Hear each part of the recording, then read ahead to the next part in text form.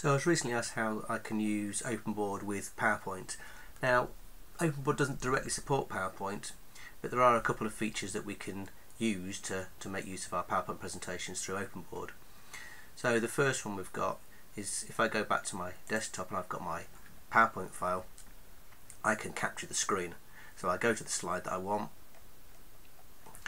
uh, I can capture the screen, add it as a new page, and then I can do whatever I want to do, sort of point to different bits or, or highlight some code or, or whatever it is that I'm trying to, to demonstrate.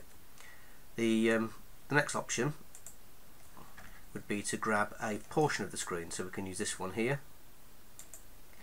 and we can grab a portion of the screen, add it to a new page and then we've got that portion of the screen that we were dealing with and then I can sort of carry on as normal with my whiteboard and highlight the key areas,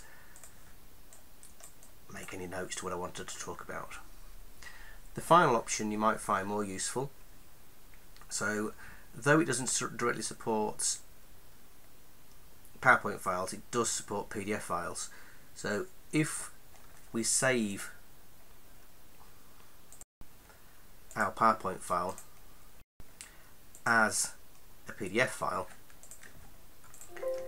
and I've got the option under documents which you can't quite see because of my screen but it's down here.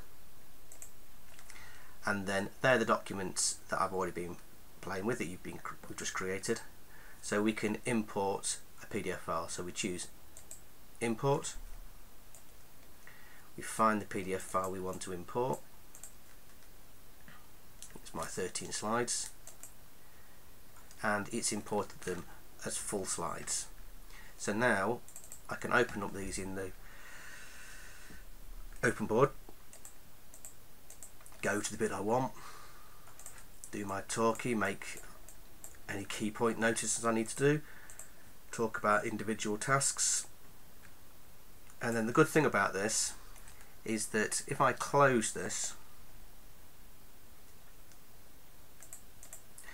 desktop okay and then come back to it later. So if I actually close down OpenBoard altogether